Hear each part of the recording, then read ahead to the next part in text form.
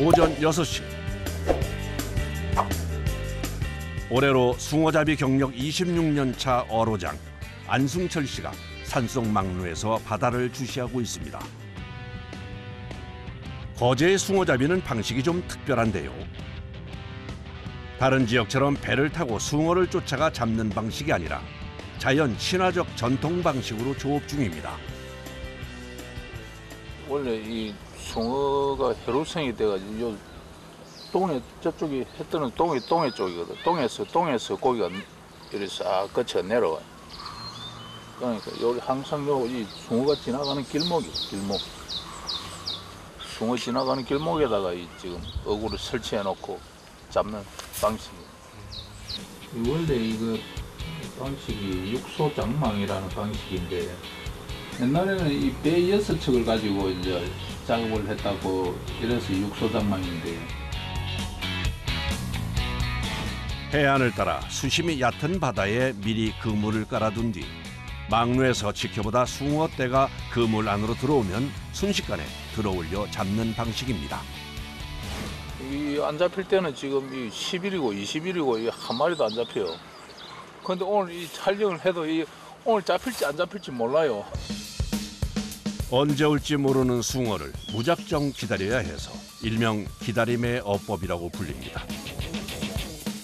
막루에서 숭어 떼가 들어오는 것을 기다리다 숭어가 오면 예전엔 여섯 척의 배로 그물을 끌어올렸지만 요즘엔 어장에 바지선을 띄우고 유압식 엔진의 힘을 빌려 작업을 합니다.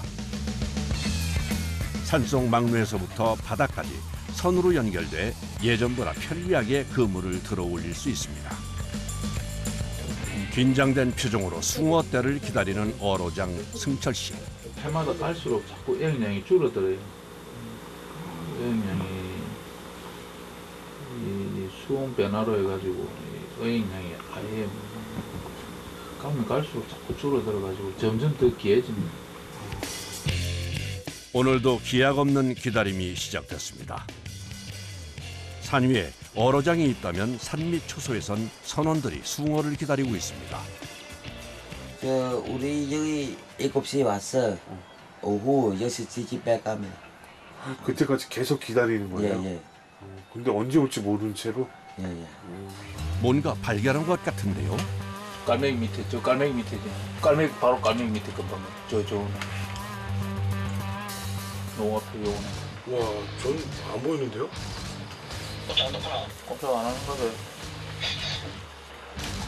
이거 번쩍하죠. 어, 네.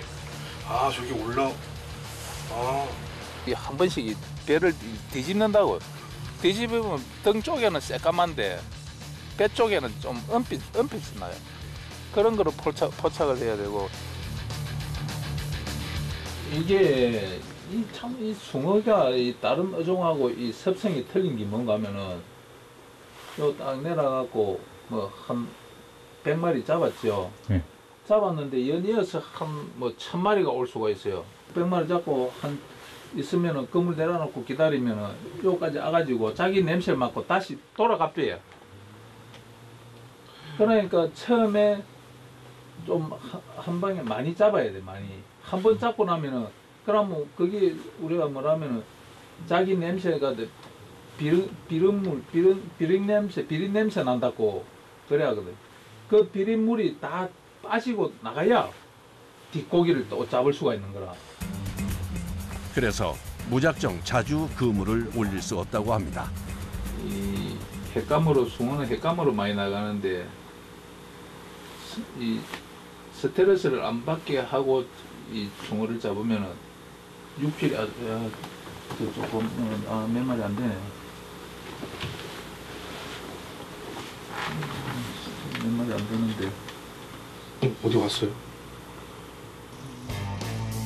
성에 차진 않지만 그물을 올려보는 어로장. 과연 얼마나 잡혔을까요? 초조한 마음으로 모두 그물을 주시합니다. 예상했던 대로 숭어의 양이 많지 않습니다.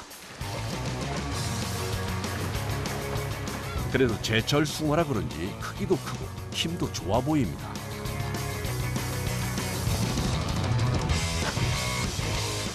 이제부터는 속도전입니다. 그물이 올라감과 동시에 초소에서 기다리던 선원들이 빠르게 배를 타고 출발해 고기를 걷어들입니다. 해라. 빨리 해라 빨리.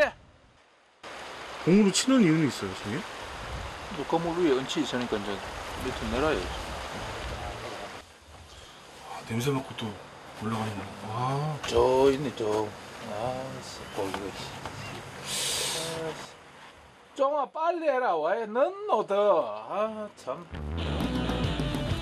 그물 중심에 움푹 패인 작은 그물이 연결돼 있는데 이곳으로 숭어를 모은 뒤 그물을 떼어내 운반하는 시스템입니다. 그런데 수확이 늦어져 숭어 떼를 놓치고 말았습니다. 어로종의 마음이 타들어갑니다. là mấy kilo rồi 100kg. 네. 아, chắc 없어요 작아요? 다시 시작된 기다림의 시간. 이 산속 절벽망루에서 봄이면 오늘처럼 숭어를 기다린 것이 올해로 30년째. 이곳에서 선배들이 조업한 것까지 더하면 무려 100년이 된 망루라고 합니다. 기다리다 보니 어느새 점심시간. 오전에 잡은 숭어 한 마리를 꺼내 식사 준비를 하는데 이제 숭어 손질을 거의 달인급으로 능숙합니다. 제일 자주 먹는 메뉴가 숭어 김치찌개입니다. 묵은 김치를 숭덩숭덩 잘라놓고 숭어와 함께 끓이면 꽁치 김치찌개는 명함도 못 내밀 만큼 맛있다고 하네요. 오늘은 숭어 부침도 준비했습니다. 고기 말잡이 빨아 말 온다 힘들어 고기 안 말잡이 난지 좋다 안 힘들습니다 오늘 잡은 싱싱한 숭어로 한 상이 차려졌습니다. 사실 언제 숭어가 올지 몰라 식사를 하면서도 마음이 편치 않습니다. 맛있어요 점심을 먹고도 한참 동안 숭어 소식이 없습니다. 알 수가 없어요. 그, 그러니까 뭐 맨날 기다리고 뭐 죽치고 앉아 있어야지. 안 그러는 것도 뭐뭐 물 때 그 뭐 예를 들어서 어 맨물 때는 메시 고기가 내려온다. 그러면 그때 그 시간 그 시간 때딱 와서 있다가 그것만 잡고 가면 집에 가지 뭐 말로 이거 하루 종일 앉아 있을기고. 그런데 이때 여섯 시간의 긴 기다림 끝에 드디어 기다리던 숭어떼가 포착됐습니다. 산속 곳곳에 설치된 기계가 움직이기 시작합니다. 서서히 올라오는 초대형 그물. 이번엔 좀 숭어가 많이 잡혔을까요? 급하게 뛰어내려오는 선원들. 배가요 고기 작다 고기 작다 어디 가세요? 매입니다 송어 말잡니다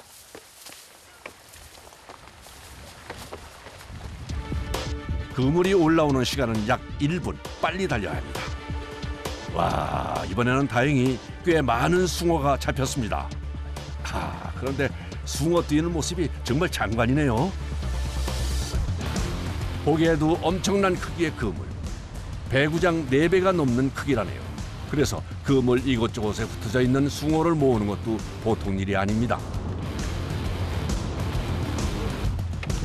그물에 걸려도 수면 위로 솟구쳐 오르는 힘이 엄청나 빨리 양망하지 않으면 놓칠 수도 있어 작업을 서둘러야 합니다. 그래도 기다림이 헛되지 않아 다행입니다.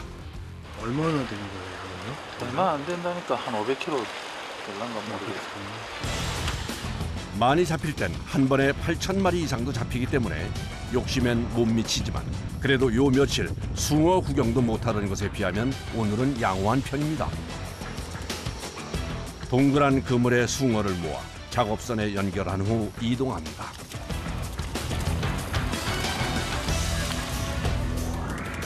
이렇게 전통적인 육소 장망 어획 방식은 자연 친화적 어법으로 숭어가 스트레스를 덜 받아 최상품 평가를 받는다고 합니다. 그래서 한 번 먹어본 사람들은 거지의 숭어 차린 봄이 되면 특별히 주문해 먹을 만큼 사랑을 많이 받습니다. 싱싱한 숭어를 바지선 근처의 보관용 가두리로 옮기면 작업이 끝이 납니다.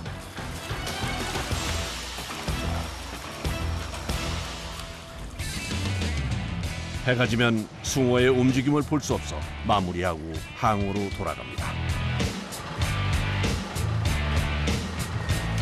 조업을 마칠 시간이 되면 숭어를 가져가려는 수조차들이 항구에 먼저 와서 대기하고 있습니다.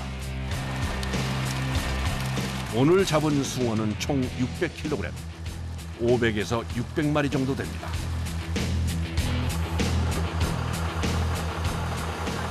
오늘 예상했던 거, 이 뭐, 택도 안 되죠. 이래 잡아가 안 돼. 하루에 한 2, 3톤씩 잡아야 되는데, 이 뭐, 거제도 사람들에게 봄 숭어는 바다가 주는 선물이라고 할 만큼 특별한데요. 2월에서 5월 말이 숭어가 가장 맛있는 철입니다. 그런데 작년과 달리 올해는 어획량이 적어 어부들의 걱정이 많습니다. 지금 숭어가 제일 기름이 많이 차가지고 맛있을 때예요. 그래서 지금 거제 숭어를 거의 이거죠. 넘버 원이에요. 전에는 좀 많이 나왔는데 요즘 들은 이상하게 좀 주춤하네. 날씨가 너무 더워서 그런가? 인기는 많은데 양이 적었습니다. 네, 그렇죠. 그래서 지금 수요가 좀, 좀 딸려요.